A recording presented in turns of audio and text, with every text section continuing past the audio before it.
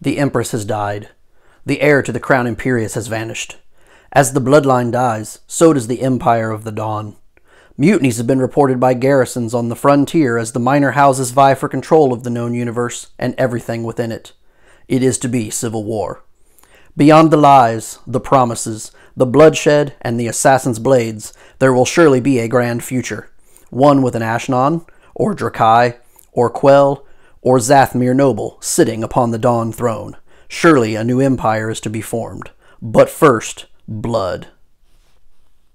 In Imperius, two to four players will be drafting cards that consist of any number of cards from up to four factions, their own faction, as well as their opponent's factions, as well as event cards that will be used to switch gameplay up and add unknown effects to the game. Players are dealt a hand of five cards each. Players will keep one card from their hand of five, pass the remaining four cards to their left, and repeat that process, selecting a card, passing the remaining cards to their opponent, until they have drafted a hand of four cards. Those cards can be made up of their own faction's cards, opponent's faction cards, as well as event cards. The remaining four cards are then shuffled by the first player and dealt face up one card per planet in the center of the table to kind of seed the planets at the beginning of each round. Players then take turns deploying cards, one card at a time in turn order, beginning with the first player, and a card can be deployed to any of the four planets on the table, following a couple of rules. No more than five cards can be placed on a planet, and no more than two cards on the planet can be placed face down. This process will continue until all players have deployed all cards from their hand. Beginning with the first planet, or the planet on the left, the face down cards are turned up. Cards are then organized in order of their initiative value. Once cards are revealed and organized in order of initiative, cards are resolved in increasing initiative order, starting with the zero cards and moving down through the highest value on the planet.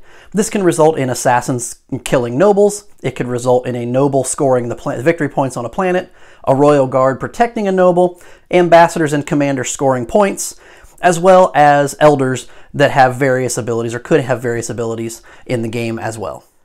We then resolve the second planet, followed by the third planet, and this will continue until all planets have been resolved.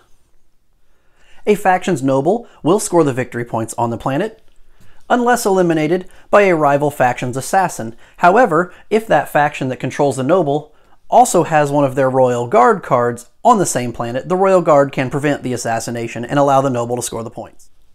Commanders grant victory points to the strongest faction on the planet and allow them to place a control token on that corresponding planet. Control tokens are used for end of game scoring.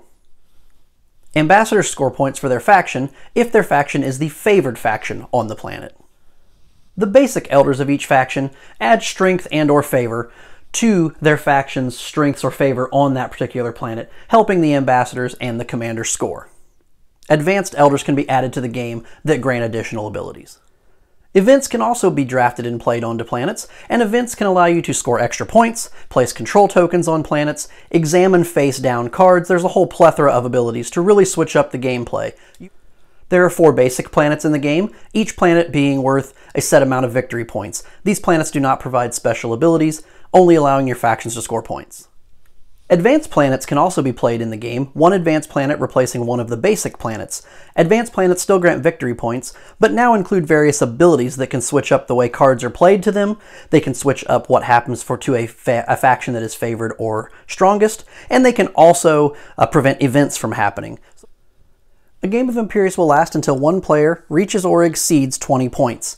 At that point, we enter endgame scoring, where we add points for control markers placed on planets, we deduct points for each player for every casualty that has been taken, and the player with the highest score is crowned the new ruler of the empire.